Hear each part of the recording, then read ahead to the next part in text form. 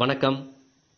இந்த வீடியோவில் கடைசியாக நடந்த டிஎன்பிசி தேர்வுகளில் கேட்கப்பட்ட ஆப்டிடியூட் மேக்ஸுக்கான கேள்விக்கான விடைகளை தான் பார்க்க போகிறோம் ஸோ இந்த கேள்வி பாருங்கள் find the value of one by two percentage of two hundred அதாவது இரநூறில் ஒன்று பை ரெண்டு சதவீதத்தை காணுங்க. ரொம்ப சிம்பிள் இதை ஃபஸ்ட் நம்ம நார்மல் மெத்தடில் சால்வ் பண்ணலாம்.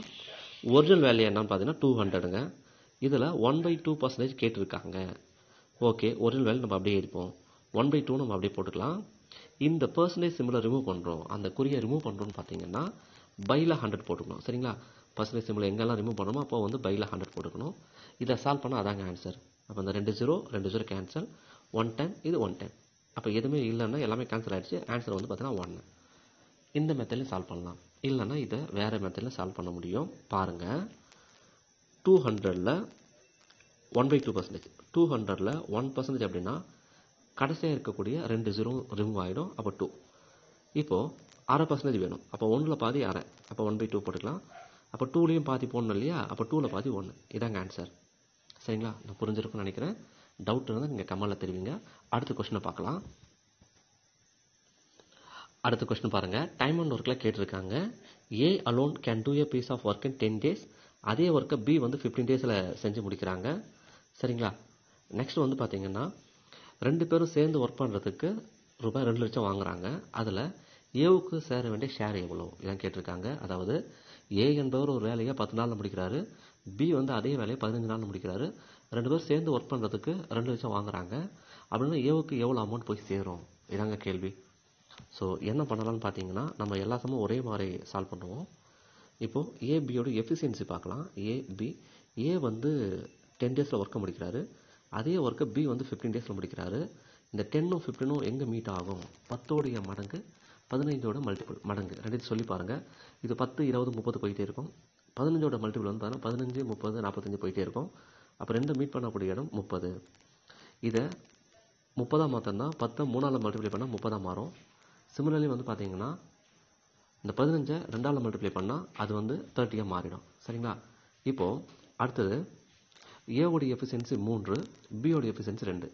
சார் இவ்வளோ அளவுக்கு போடணுமா? இது சிம்பிளாக போடலாமான்னு சொல்லிட்டு உங்களுக்கு போட முடியுமே டவுட் வரும். கண்டிப்பாக சிம்பிளாக போட முடியும்.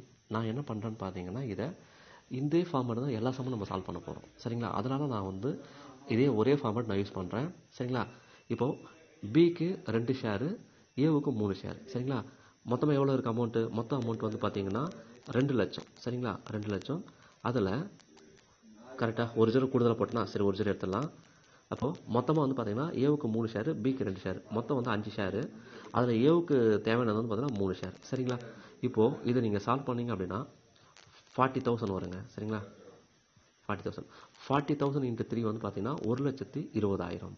அப்போ ஏவுக்கு சேர வேண்டிய ஷேர் வந்து பார்த்தீங்கன்னா ஒரு லட்சத்தி இருபதாயிரங்க. சரிங்களா? இதை ஒரு வேளை எல்லாமே ரேஷியோ சம்ம இப்படியும் போட்டுக்கலாங்க. ஏபி ஸ்ட்ரெயிட்டாக போட்டுக்கலாம். ரேஷியோ கண்டுபிடிப்போம். நெக்ஸ்ட் என்ன பண்ணலாம் பார்த்தீங்கன்னா பிக்கு உண்டான டேஸை ஏவுக்கு போட்டுக்கலாம். ஏவுக்கு உண்டான டேஸை வந்து பார்த்தீங்கன்னா பிக்கு போட்டுக்கலாம். இப்போ இந்த ரெண்டுத்துக்கு ரேஷியோ எடுப்போம். ரேஷியோ எடுத்துன்னு பார்த்தீங்கன்னா three into five two into five அப்போது ஏவுக்கு மூணு ஷேரு பிக்கு ரெண்டு ஷேரு அப்போ மொத்தமாக ரெண்டு லட்சம் இருக்குது இதுக்கப்புறம் அதே போல் தாங்க வரும். மொத்தமாக வந்து பார்த்தீங்கன்னா ரெண்டு லட்சம் இருக்குது ஓகேங்களா? அதில் ஏவுக்கு வந்து பார்த்தீங்கன்னா மூணு பிக்கு ரெண்டு. மொத்தமாக சேர்த்தவங்க அஞ்சு ஷேர் சரிங்களா? ஃபைவ் அதில் இப்போ ஏவுக்கு மட்டும் தான் கேட்டிருக்காங்க. ஏவோட ஷேர் வந்து பார்த்தீங்கன்னா மூணுங்க. அதே அகைன் அதே தான் வரப்போகுது. ஸோ நாற்பதாயிரம். நாற்பது இன்ட்டு மூணு ஒரு லட்சத்தி இருபதாயிரம். சரிங்களா? அப்போ ஏவுக்கு சேர வேண்டிய தொகை வந்து பார்த்தீங்கன்னா ஒரு லட்சத்தி இருபதாயிரம். இவ்வளோ தாங்க ஸோ இப்படியே சால்வ் பண்ணலாம். சரிங்களா? அடுத்து வந்து பார்த்தீங்கன்னா எல்சிஎம் ஹெச்சிசிஎஃப்லேருந்து ஒரு கொஸ்டின் கேட்டிருக்காங்க. If the LCM of three and nine is nine HCF என்னன்னு கேட்டிருக்காங்க. அதாவது மூன்று மற்றும் ஒன்பது ஆகிய எண்களின் மீசியமாக ஒன்பது எண்ணில் அவற்றின் மீப்பேவா காண்க. நல்லாவே தெரியும். ரெண்டு நம்பர் கொடுத்துட்டு ஒரு பக்கம் வந்து எல்சிஎம்மோ இல்லைன்னா ஹெச்சிசிஎஃப் கொடுத்துட்டு மற்றது கேட்பாங்க. அதாவது ரெண்டு நம்பரும் கொடுத்துட்டு எல்சிஎம் கொடுத்துட்டு ஹெச்சிசிஎஃப் கேட்கலாம் அல்லது ஹெச்சிசிஎஃப் கொடுத்துட்டு எல்சிஎம் கேட்கலாம். இல்லையா? எல்சிஎம் ஹெச்சிசிஎஃப் ரெண்டுமே கொடுத்துட்டு இந்த பக்கத்தில் ஒரு நம்பர் கொடுத்துட்டு இன்னொரு நம்பர் என்னன்னு கேட்கலாம். அதுக்கு ஒரு கனெக்டிவிட்டி இருக்குது என்ன ஃபார்முலான்னு பார்த்தீங்கன்னா product of two numbers product of two numbers equal to LCM into HCF சரிங்களா? அதாவது their LCM into their HCF அப்படி எழுதிக்கோங்க. இரு எண்களின் பெருக்கல் பலன் ஈக்குவல் டு இரு எண்களின் பெருக்கல் பலன் ஈக்குவல் டு அவற்றின் மீசிமா இன்ட்டு அவற்றின் மீபேவா அதாவது ரெண்டு நம்பரையும் மல்டிப்ளை பண்ணுறதுக்கு எதுக்கு சமம்னு பார்த்தீங்கன்னா அந்த ரெண்டு நம்பருடைய மீசிமா மீபேவாவை மல்டிப்ளை பண்ணுறதுக்கு ஈக்குவல் சரிங்களா? ப்ராடக்ட் ஆஃப் டூ நம்பர்ஸ் எதுக்கு ஈக்குவலாக இருக்குன்னா அந்த ரெண்டு நம்பருடைய எல்சிஎம் ஹெச்சிசிஎஃபாக மல்டிப்ளை பண்ணுறதுக்கு ஈக்குவலாக இருக்கும். அந்த லாஜிக்கில் இந்த சம்மு பார்க்கலாம். அப்போது ரெண்டு நம்பர் வந்து பார்த்தீங்கன்னா த்ரீ இன்ட்டு நைன் இந்த பக்கத்தில் வந்து பார்த்தீங்கன்னா எல்சிஎம் கொடுத்துருக்காங்க.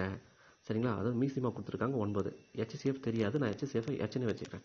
அப்போது இந்த nine nine cancel so HCF வந்து பார்த்திங்கன்னா நமக்கு த்ரீ வருங்க. சரிங்களா? இதான் ஆன்சர் ஸோ இது போல் பயனுள்ள நிறைய வீடியோஸ் எல்லாம் பண்ணிக்கிட்டே இருப்போம். தொடர்ந்து நம்ம சேனலை பாருங்கள் யூஸ்ஃபுல்லாக இருந்தால் தொடர்ந்து ஃபாலோ பண்ணுங்கள் நன்றி.